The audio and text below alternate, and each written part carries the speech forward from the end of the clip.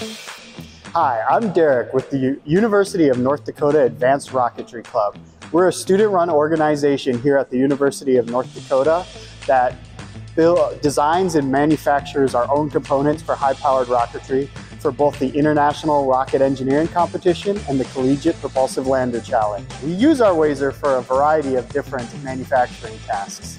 Those include making the frame for this CubeSat, uh, making brackets for our other pieces or components or things that need to be mounted, um, and also making bulkheads for our rockets.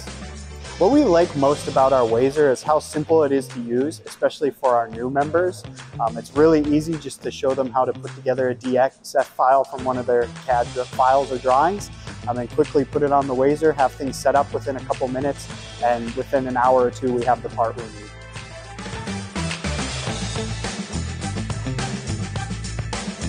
The Wazer is a lot better than how we used to previously manufacture parts like this. Uh, typically, before we owned a Wazer, we'd have to send out our parts to get manufactured by a third party. This added a lot of extra cost and limited our time frames a little bit. Uh, with the Wazer, it's really easy to make quick design decisions and get a prototype part if we need something um, within the day.